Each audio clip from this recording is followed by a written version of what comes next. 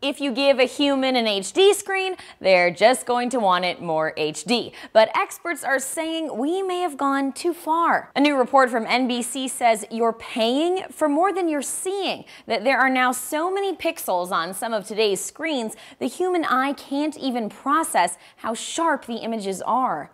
When it comes to televisions touting new 4K technology, a regular human isn't going to see a difference, said Raymond Soneira, head of display testing firm DisplayMate. Well, maybe Superman should get a 4K TV. Those TVs have about four times as many pixels as regular HD TVs, but a professor of ophthalmology tells NBC the human eye has limits and those pixels just won't be perceived. Still, you might remember this LG commercial that went viral earlier this year touting 4K technology. It made people believe a TV screen was a window and that they were seeing an explosion.